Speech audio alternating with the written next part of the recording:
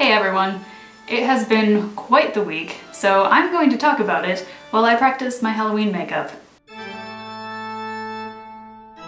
First off, it was Asexual Awareness Week, which was great. Saw a lot of great support out there, saw people coming out as ace, people celebrating their ace and aro identities, and I hope all of you got the chance to watch my latest video on it because I was pretty proud of the makeup I did then. I'm not a makeup person, generally, I don't wear makeup most of the time, but I think it's fun to do fun makeup, so. That just means Halloween is a really fun time for me because I get to do all sorts of weird makeup and no one really thinks about it too much.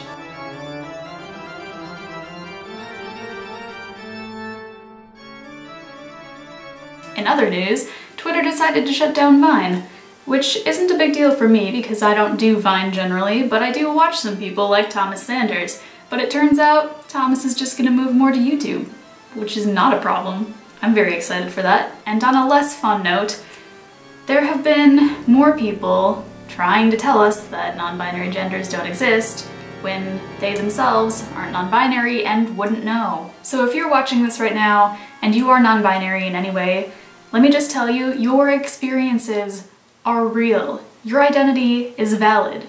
These cis people don't know what they're talking about, and they don't bother to ask non-binary people because they just say, oh, well, I don't get it, so you're wrong, you know? We don't need that in our lives. And this isn't a response video in any way, of course, because I do not have the spoons to do that, but they're wrong.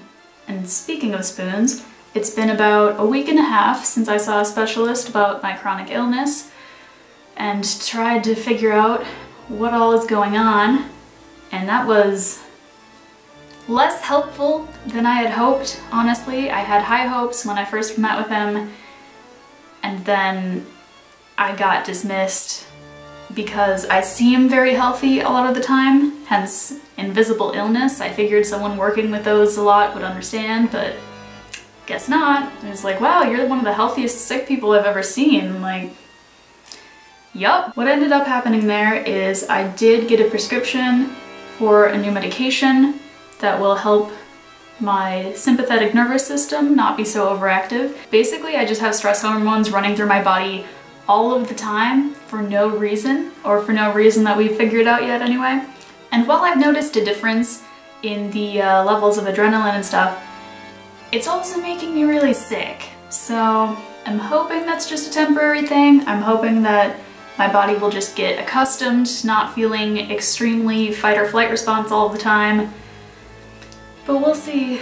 I am able to do things like stand up a lot more than I was able to before, so that's really nice um, when I'm not feeling like I'm going to be sick all the time. I think the one thing we did actually figure out through all of the testing that I went through is that I literally don't have enough blood, specifically plasma in my blood, which I have joked about before that I just don't have enough blood, haha, isn't this so funny, but like, but actually I just don't have enough, which makes vampire costumes very fitting. Unfortunately, I can't just suck people's blood to fix this problem, so I was recommended to eat a lot more salt. Like, just salt all of my food until it almost doesn't taste good. And I'm not a huge fan of salt, like I'm starting to get used to it, but it's not something I've really done before. I have much more of a sweet tooth. So if you like salt and have any recommendations for salty foods that I should try that aren't like pretzels or potato chips, please let me know because I am definitely looking for more ways to incorporate salt into my diet. Another fun symptom I'm dealing with is that I'm cold all the time, and that's like a normal thing for me. I'm normally just a very cold-blooded person, physically, not emotionally, but I'm extremely cold and we just haven't turned the heating on in our house because it's expensive and I am suffering. Again, very apt for a vampire costume.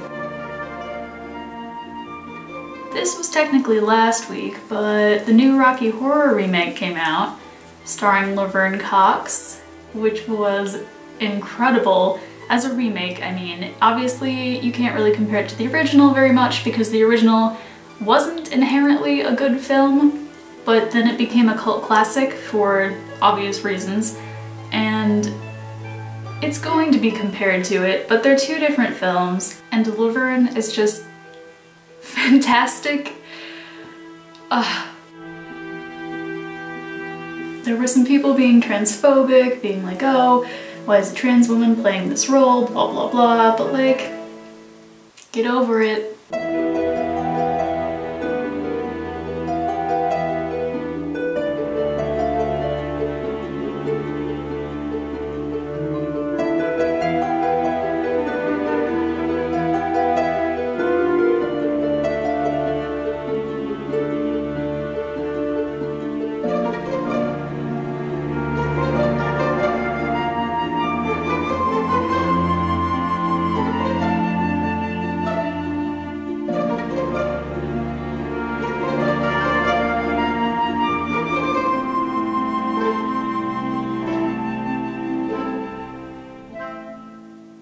And she hasn't been on my channel in a little while because she's been very busy with dance and school and everything, but my little sister Kylie just turned 16 this week, so that's pretty exciting. For the finishing touches, I'm going to take some of her lip gloss and just put it on the inside of my lips to make it look like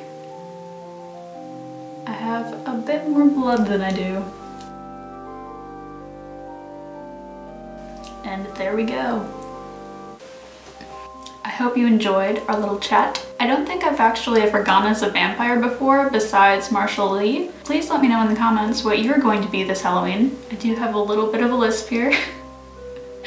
I am working on it, okay? I personally don't do the scary side of things so much because I'm sick, but if you do, have fun with that. And I will be back next week looking more human, probably.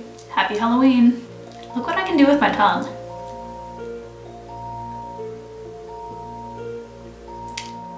I feel like that's inappropriate. I'm not gonna think about it too hard.